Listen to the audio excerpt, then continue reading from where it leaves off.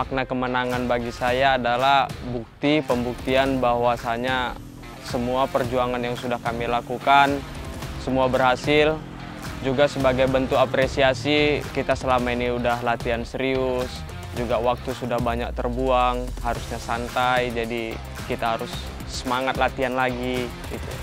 Sebenarnya menurut saya merebut dan mempertahankan sabu itu sama-sama sulit namun untuk mempertahankan kali ini kita mempunyai kesulitan sendiri karena ini baru pertama kali bagi kita untuk mempertahankan. Selain latihan keras, juga kita sudah habiskan waktu yang harusnya dengan keluarga, kita harus tetap di tempat latihan, harus menghabiskan waktu di latihan.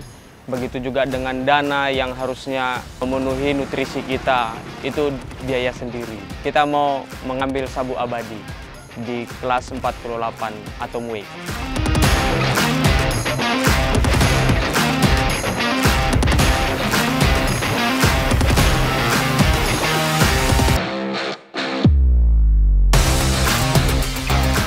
Sutikno adalah fighter yang tangguh. Dia juga dari 2018 sama dengan saya, saya sudah kenal lama dengan dia.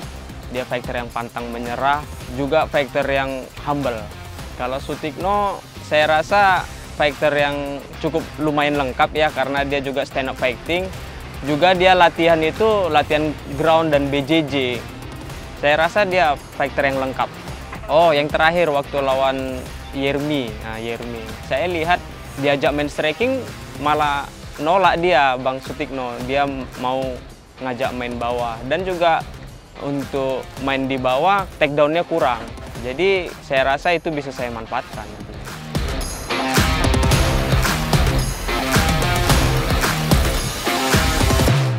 Kebetulan ini lawan Bang Sutikno, semua pertandingan itu penting bagi saya karena target kami itu harus sabu abadi di kelas atom. Karena belum ada satu orang pun yang mampu untuk menyegel sabu abadi.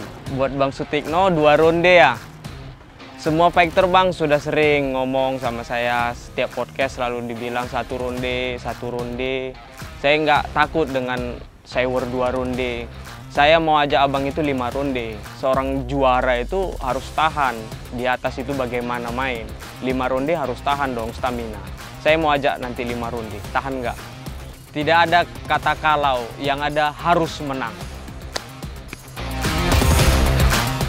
Sutikno, kau bilang kau mau sabu ini. Mimpi kau, ini akan jadi sabu abadiku.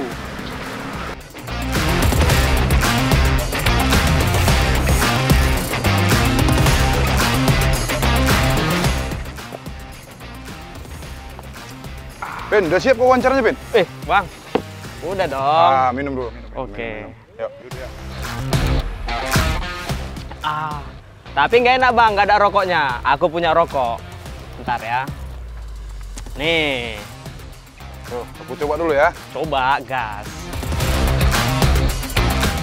Tapi ini rokok para juara nih, Ben. Oh, pasti dong bang. Berarti paten ini. Oke, kita coba dulu ya. Semangat kau latihan. Harus sabu abadi, oke? Siap bang, siap. Oke. Aku coba dulu rokok ini ya. Gas bang. Rokok para juara nih. Coba dulu ya.